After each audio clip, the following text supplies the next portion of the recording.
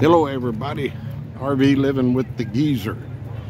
And uh, we're at Globe Life Field, home of the Texas Rangers. There's the old stadium right next door. They just opened this one up this year. Got a dome on it. But uh, got the, that's Calvin in front of me and the girls up in front of him. We done walked about 20 blocks from where we parked and it was still 20 bucks to park. But uh, this is called Ferris Bueller's Day Off. Sort of a tradition. If you don't know what that is, watch that movie and you'll find out.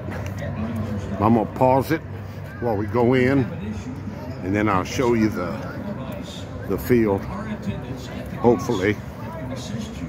Yeah, I'm out of breath, like I say. We've been walking fast too. So uh, if I survive this, I'll be back. See you in a little bit.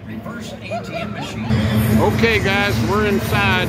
Here's the field. And it's loud in here. They got a bunch of stuff going on, but they're playing the Washington Nationals today. So uh, yeah, pretty nice. Like I say, it's a dome stadium. It's all weather controlled. All right, we'll be talking to you later. Go Rangers.